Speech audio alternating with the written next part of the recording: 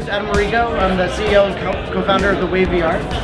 I'm Aaron Lemke. I'm the Chief Creative Officer and co-founder of the Wave VR. We're here celebrating our collaboration with HTC and Warner Brothers on this Ready Player One activation. Uh, we make a social VR platform um, that connects people from around the world to attend these virtual concerts and a virtual dance club. And working with uh, HTC, we recreated the venue from the film Ready Player One, where uh, there's actually a virtual club scene in the movie. We got assets straight from the film and put them right into our project, integrated them, and I think we really nailed the look of the film. Uh, we'll, we'll put it up to you guys to decide. So in the book and in the film, uh, it's sort of this like dystopian society where people are using virtual reality to escape the current political climate.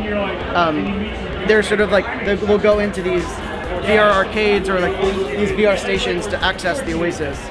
Um, so they basically created uh, these uh, pods, which are reminiscent of the stacks from the film, with various VR headsets where people could actually go in and experience some of this content. We were commissioned to create the dance club scene, and uh, downstairs we just had Tye Sheridan, the lead actor of the film, uh, do a hour-long VR DJ set where he used our virtual DJ interface to uh, play a, a, concert in our virtual venue um, for the people that were jacked into these uh, VR pods and over 20 VR arcades around the country that were also participating. Yeah, they really did an incredible job uh, with this activation. I was here like two days ago and there was a wedding in this venue and now it's like being in Ready Player One. Yeah, so the technology involved in the Wave is, is fairly complex. I mean, we basically have a performer who's in VR creating an audio visual show that gets broadcast out to all of these other people in different physical locations.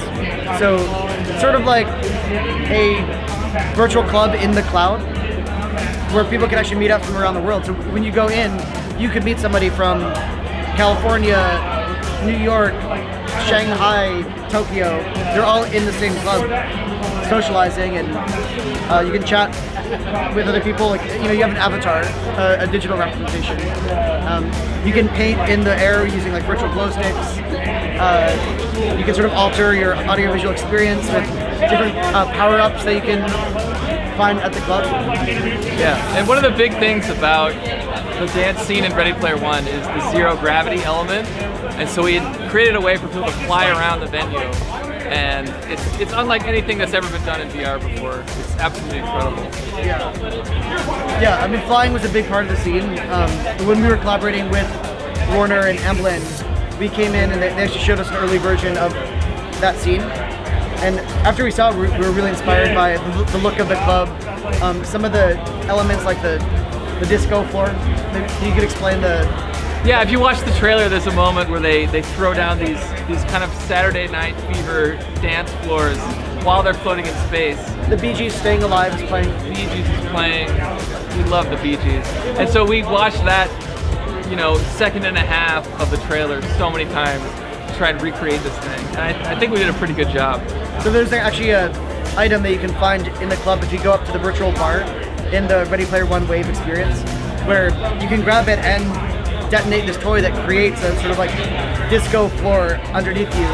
So you can fly into the air and actually create your own dance floor, and then other people can fly over to you and have their own party. It's so much fun. It's a ton of fun.